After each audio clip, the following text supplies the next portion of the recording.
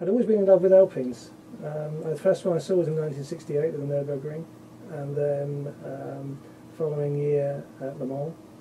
Um, and so, uh, and Le Mans in 1970, again in the street, lots of beautiful Berlinettes. I thought, I want one of those. Um, but it never happened. It never does happen, does it? So uh, it had to wait a while, and then fortunately one day I was working for a company who hadn't paid me any commission, and the guy said, well, okay, we owe you something. And um, they gave me an Alpine, an A310, which was the, the coupe version in the 80s. And so the, the love of Alpines really started at, uh, at around about that time. So that's the back end of the 1980s. And then into um, uh, the 90s, uh, both I, I, I, went sprinting, racing, uh, the stuff with single-seater and saloon cars and, and an Alpine. And then I thought, hang on, do a bit of writing maybe. So I started to uh, go back to doing what I was doing before. Again, mostly just for the club magazines. And then about three or four years ago, uh, we started to get interested in what we might be able to do um, for proper magazines, as it were, um, and maybe even write a book or two. I retired, had plenty of time, and thought now's the chance to have a go. And the first result of our work is what you have here. Um, and the next one, two are coming out next March. Okay, well the first one was about the Formula One development of the turbo engine. Um, Alpine were involved in the first Formula turbo, uh, uh, turbo Formula One car from the point of view of the chassis. And the engine was created by Gordini, and uh, the old Gordini had moved into a new building south of Paris, and it was all now modern and things had moved forward. The V6 engine that was being used in the sports car books uh, was made into the Formula One turbo engine, 1500cc, and that subsequently went on to be the first turbo car to win Grand Prix. And that's what the first book is about, the development of those cars and that engine specifically. The next two books are about these sports prototype racing cars of Alpine. And they go from 1963 to 1969 in the first period, and then from 1973 to 1978 in the second period. There are two periods because um, uh, when Jean Rédélé, the father of Alpine, wanted to go to Le Mans, he had a passion for Le Mans, he um, had a sports prototype made, a special one, in 1963.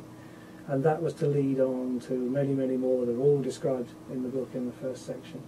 And it's all about sports prototypes. We cover every race, uh, nearly every driver, certainly every chassis, um, right through to 1969. And that includes the development of Gordini engines um, and the fateful V8 Gordini engine, which unfortunately didn't work very well. And Renault who by then had got a lot of money involved, decided to cut it. And that was in 1969, after uh, a debacle at Le Mans, and uh, all sports car prototype racing for Alpine stopped. They were not allowed to make any more. But they didn't stand still. Obviously, within behind the scenes, there were mines were ticking over, and so the second period, which is the subject of the second volume, um, starts in 1973 with the development and the request for a new engine um, requested by Elf, actually, the oil company, because they wanted to move into things after their efforts with Matra. And uh, they then went on to finance the new engine, which led to a new era of sports prototype racing. Uh, they won the European Championship. This is Alpine with a, a Renault Gordini V6, and then subsequently the Le Mans 24 Hours in 1978. that was their target. Once they'd reached that target, they stopped and continued with Grand Prix Formula One racing. I owe a great deal of to of thanks to a lot, a lot of people. Um, we go back, obviously, when we started this this project. The idea was about four years ago. We actually started research three years ago. Um, after a year, we were able to produce the first book, which was the the one about the Formula One book, which also had a lot of crossovers into the sports prototype of the second era because that's obviously the same team of guys that were working on these engines. Um, for the interviews for, for this book, and, and one of my styles, I don't know if you call it the style if you like, is that I like to go and see the people and talk to them who were there rather than just pick up the history and read it. The interview is everything because you get so much coming out of it. So there are a lot of people from Alpine, from for the, the sports car books, from the period 63 to 69. A lot of these guys are, are um, in their 70s and 80s now. Wonderful people.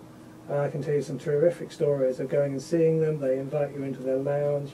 You sit down and have a coffee. And they're talking about an era when they, were driving on tyres you wouldn't even put on your wheelbarrow, you know, and where they just sort of they get told, okay, we're ready, take a puff of his cigarette, stub it out on the floor, and off he'd go. And as I said in the in the beginning of the, of the book in the introduction, he wouldn't know whether the, the car was going to kill him or whether the cigarette would because times were different then, and these cars were lethal. It was a time when a lot of men died. Um, so they were able to talk about that to me, and I owe, owe a great deal to all of the men at um, Associations des Anciens Alpines in Dieppe, who in fact have told me virtually all of their uh, histories and how they worked on the cars, the mechanics, the engineers.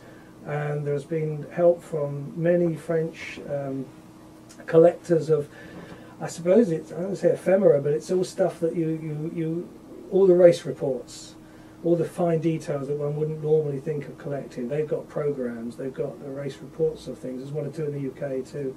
A guy called John Sanson, he's got the whole Le Mans stuff that he's lent me, all his programs.